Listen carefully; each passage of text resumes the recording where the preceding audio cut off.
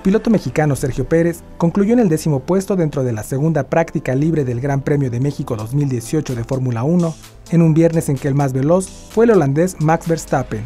En esta décima novena cita en la temporada 2018 de la Fórmula 1, el holandés Max Verstappen junto a su compañero en Red Bull, el australiano Daniel Ricciardo, repitieron el 1 a 2 de la primera sesión para dejar en claro sus deseos de brillar en la capital mexicana. Verstappen registró un tiempo de 1.16.720 minutos, Checo Pérez del equipo Racing Point Force Indiana firmó su mejor vuelta de las 24 que cumplió en el Autódromo Hermano Rodríguez con un tiempo de 1.18.167 minutos para situarse dentro del top 10. El piloto jalisciense todavía tiene posibilidad de mejorar este sábado, día en el que se efectuará la tercera sesión libre y la clasificación en búsqueda de un buen lugar en la parrilla de salida para la carrera del domingo del Gran Premio de México de Fórmula 1. En séptimo lugar, quedó el actual número uno y líder del campeonato de pilotos, el británico Lewis Hamilton de Mercedes, que precisamente un séptimo puesto este domingo le alcanzará para coronarse dentro de la Fórmula 1 sin importar lo que haga Sebastián Vettel.